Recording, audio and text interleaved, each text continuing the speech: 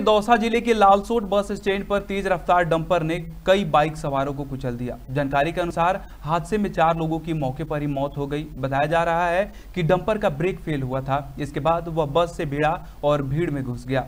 सुबह करीब साढ़े ग्यारह बजे हुए एक्सीडेंट में डंपर के नीचे फंसे शवों को निकालने के क्रेन की मदद ली गई। डंपर में बजरी भरी हुई थी। स्थानीय नेताओं ने हादसे के लिए पुलिस प्रशासन को जिम्मेदार बताया है। Mm-hmm.